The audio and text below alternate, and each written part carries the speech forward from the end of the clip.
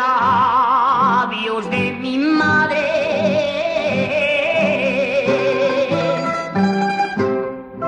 Una hora le escuché.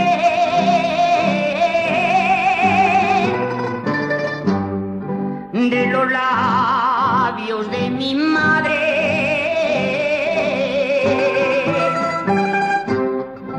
Era una jota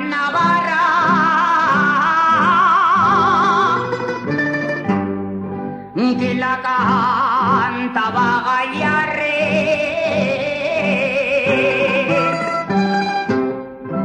que la cantaba Gallarre.